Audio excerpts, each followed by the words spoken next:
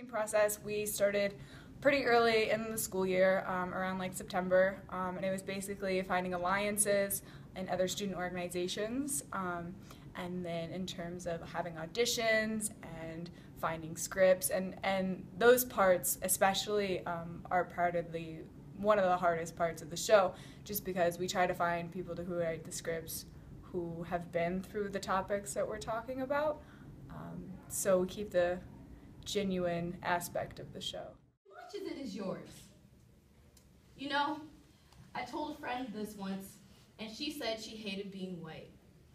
I told her, don't hate being white.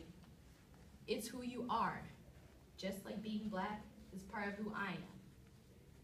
But when you are silent and when you are complicit, do not be surprised at my rage.